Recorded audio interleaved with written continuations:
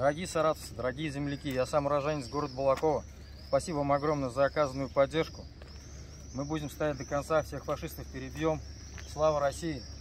За это, за Владимира Владимировича.